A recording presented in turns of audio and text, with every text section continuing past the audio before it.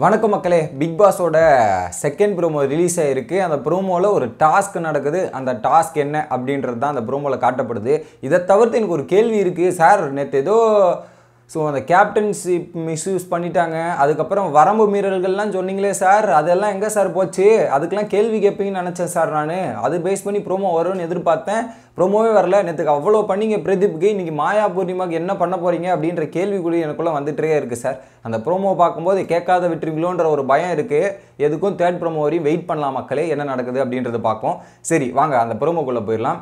என்ன டாஸ்க் அப்படின்றது பார்த்தீங்கன்னா லட்டு ஒரு ஸ்வீட் கொடுக்குறாரு. ஸ்வீட் வந்து ஒன்று கசக்கும் இன்னும் வந்து இனிப்பாக இருக்கும். ஸ்வீட்டில் என்ன கசப்புனா அந்த மாதிரி ஒரு ஸ்வீட்டை ரெடி பண்ணியிருக்காங்க என்னென்னா அல்வா கொடுத்து பார்த்துருக்கீங்க.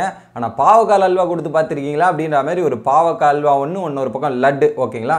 அது வந்து எப்படின்னா ஸோ ஒரு ஹவுஸ்மேட்ஸ் வந்து ரெண்டு பாவக்காய் அல்வா ஒரு லட்டு கொடுக்கலாம் போல இருக்குது ஒன்று பாவக்காய் ஒன்று லட்டு. இல்லை ரெண்டுமே இதை கொடுக்கலாம் போல இருக்குது அப்படின்ற மாதிரி ஒரு கான்செப்ட் கொடுத்துருக்காங்க போல். ஸோ அதில் வந்து ஃபஸ்ட்டு அர்ச்சனா வராங்க. ரெண்டு அந்த கசப்பான அல்வாவை எடுத்துகிட்டு போய் முதல்ல பூர்ணிமா கொண்டு ஒன்று கொடுத்தாங்க. சார் மொதல் நாளே வந்தவொடனே ஸ்மால் பாஸ் வீட்டுக்கு அமைச்சிட்டாங்க சார்.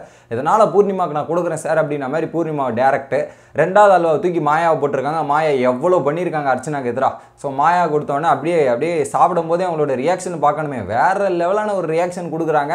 அந்த மாதிரி ஒரு அல்டிமேட்டான ஒரு ரியாக்ஷன் வச்சுக்கங்க. இன்னொரு பக்கம் வந்து ஸ்மால் பாஸ் வீட்டில் இருக்கவங்க அர்ச்சனா கொடுக்குறாங்க. அர்ச்சனா ரெண்டு பேர் கொடுத்தா அர்ச்சனாக்கு நாங்கள் ரெண்டு பேர் கொடுப்போம்ப்பா. அந்த கான்செப்டில் பார்த்தீங்கன்னா ஒரு பக்கம் அன்னபாரதி இன்னொரு பக்கம் கானாபாலா ஸோ கானாபாலா வந்து அடுத்த வாரம் அவன் எந்த வீட்டில் இருப்பானே தெரில சார் அப்படின்ற மாதிரியும் அன்னபாரதி வந்து அவள் புலம்பிட்டே இருக்கா சார் அப்படின்ற மாதிரி கொடுக்குறாங்க. கண்டிப்பாக இது ரெண்டும் உண்மை தான் ஏன்னா அவங்க ஸ்மால் பாஸ் வீட்டில் இருக்கிறது ஒரு பக்கம் பிடிக்கல அப்படின்றது உண்மை. புலம்பிட்டே இருக்கிறது அதிகம். ஒரு சில டைமில் எனக்கே இரிட்டேட் ஆகிற மாதிரி ஒரு பல விஷயங்கள் பண்ணுறாங்க அர்ச்சனா.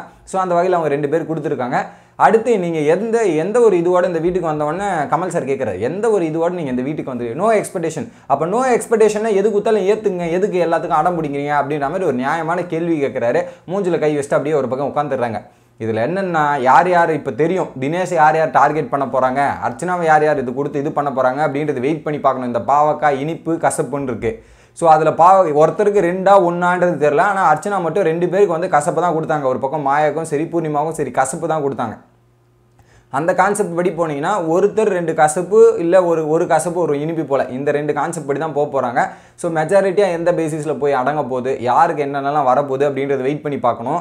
கண்டிப்பாக வரம்பு மீறல்கள் கேட்கணும் சார் நீங்கள் புள்ளிலாம் நிறைய பண்ணியிருக்காங்க. பிரதீப்புக்கு அது தப்புன்னு சொன்னீங்கன்னா வீட்டுக்குள்ளே நடக்கிறது பல விஷயங்கள் தப்பாக இருக்குது குறிப்பாக நிக்சன் இந்த கேங்கை வந்து கேட்கணும் சார் அப்படின்றது என்னோட கருத்தாக இருக்குது பார்ப்போம் வெயிட் பண்ணி பார்ப்போம். சரி அடுத்ததாக ப்ரோமோ ஒன்னுக்கு போயிடலாம் நான் காலைல லேட்டாக இருந்துட்டேன் ஸோ தூங்குனதே லேட்டு அதனால் ப்ரோமோ ஒன்றை பேச முடியல. ப்ரோமோ ஒன்னில் என்ன நடக்குது அப்படின்றது பார்த்தீங்கன்னா கமல் சார் வந்து உட்காந்துட்டு ஆரம்பிக்கலாங்களா? அப்படின்ற மாதிரி ஒரு பயங்கரமான ஒரு ஆரம்பம் இருக்குது ஸோ அந்த எலிமினேஷன் கார்டை எடுத்துகிட்டு வந்துட்டார். ஸோ எலிமினேஷன் கார்டை எடுத்துகிட்டு வந்து என்ன சொல்கிறாரு அப்படின்றது பார்த்தீங்கன்னா ஸோ யார் யார் வந்து எலிமினேஷனில் இருக்கும் ஒன்றா உட்காருங்க அப்படின்ற மாதிரி கேட்டுட்டு எலிமினேட் பண்ணுவாரா? இல்லை சேவ் பண்ணுவாரா? அப்படின்ற மாதிரி பல விஷயங்கள் அவரே சொல்கிறார் யாரை சேவ் பண்ண போகிறார் யாரை எலிமினேட் பண்ண போகிறார் அப்படின்ற ஒரு குழப்பத்தில் எல்லாம் உட்காந்துட்டு இருக்கீங்களே ஸோ உங்களா மாதிரி வந்து நாமினேஷன் மாதிரி நாமினேஷன் பண்ணதே போரிங்காக பண்ணிங்க. அந்த மாதிரி போரிங்காக நான் பண்ண விரும்பல. இவங்க சேவிடு அவங்க சேங்க அப்படின்னு சேடுன்ற மாதிரி ஒரு போரிங்காக பண்ண வேண்டியது விரும்பல ஆல்ரெடி முதல்லாம் மொக்கையாக போயிட்டுருக்கு ஷோவும் ஒரு பக்கம் மொக்கையாக போயிட்டுருக்கு நான் என்ன பண்ணலான்னா இனிமேட்டு சேவிங்கே கிடையாது. டேரெக்டாக எலிமினேஷன் அப்படின்ற மாதிரி ஒரு எலிமினேஷன் கார்டு எடுத்து காட்டுறாரு. அதில் அன்னபர்த்தி தான் இருக்க போகிறாங்க அவங்க தான் எலிமினேட் ஆகி போக போகிறாங்க பட் சேவிங்கே இல்லாமல் எல்லாரையும் ஒரே இடத்துல உட்கார வச்சு ஏழு பேர் இந்த மாதிரி பண்ணுறது ஏன் பண்ணாங்கன்னு வச்சுக்கினேன் கைத்தட்டல் கைத்தட்டல் கைத்தட்டல் அப்படின்ற கான்செப்ட் வந்து நேற்று பிரதீப் ஆண்டனி எபிசோடில் மாயாபுரியமாக நீங்கள் சொன்னீங்க பாரு. அதனாலே இதை பண்ணியிருக்காங்கன்னு நினைக்கிறேன். கைத்தட்டலால் இப்படி இதுவாகிட்டோம் அவர்கிட்ட பேச முடியல. ப இது பண்ண முடியல. அவ்வளோ டைலாக் மென்ஷன் பண்ணிக்கல. இந்த இடத்துல அந்த கைத்தட்டலாலேயே என்ன பண்ணிட்டாங்கன்னா யாரையும் சேவ் பண்ணலப்பா. டேரெக்டாக எலிமினேஷனுக்கு போகிறப்பா அப்படின்ற மாதிரி போயிட்டாங்க. பட் எனக்கு என்ன நான் இந்த இடத்துல சேவ் பண்ணியிருக்கணும். ஒரு ரெண்டு பேர் இல்லை மூணு பேர் சேவ் பண்ணிட்டு இருந்தீங்கன்னா கேம் நல்லா இருந்திருக்கும். ஃபஸ்ட்டு வந்து தினேஷ் சேவ் ஃபஸ்ட்டு அர்ச்சனா தினேஷ் இவங்க ரெண்டு பேர் அப்புறம் மணிச்சந்திரன். இந்த மூணு பேர் சேவ் பண்ணியிருந்தீங்கன்னா ஆட்டம் வேறு லெவலாக இருந்திருக்கும் மக்களே. ஏன்னா அப்படி சேவ் பண்ணிங்கன்னா தெரியும் உங்களோட பவர் என்ன இது என்ன அப்படின்றது தெரிஞ்சிருக்கும். பட் இப்போ கூட நான் நல்ல விஷயம் தான். சேவ் பண்ணாமல் அப்படியே விட்டாங்கன்னா இப்போ என்ன நினச்சிப்பாங்கன்னா மாயா புரியுமா? நம்ம தான் கெத்து. பிரதீப் இல்லைல்ல நம்ம தான் கெத்து அப்படின்ற மாதிரி ரெண்டு பேர் சீன் போட்டுட்டு அந்த அளவுக்கு ஒரு மாதம் திரிவாங்க. பட் வெளியே இருக்கிற ஃபேன் பேஸ் வந்து தினேஷும் அர்ச்சனாவும் தெரியாத அளவுக்கு அவங்களுக்கு ஒரு மிகப்பெரிய பாசிட்டிவ் தான். ஸோ இவங்களுக்கு தெரிலல்ல அதனால் அவங்க ரெண்டு பேருக்கு பாசிட்டிவ் ஒரு வேலை தெரிஞ்சுதுன்னா அப்படியே பேக் அடிச்சிருவாங்க. ஸோ தெரியாமல் இருக்கிறது கே கேமுக்கு கொஞ்சம் இன்ட்ரெஸ்ட்டாக இருக்கும்ன்றது தான் என்னோட கருத்து மக்களே. உங்களோட கருத்து என்ன அப்படின்றத கமெண்ட் பண்ணுங்கள் வீடியோ பிடிச்சா லைக் பண்ணுங்கள்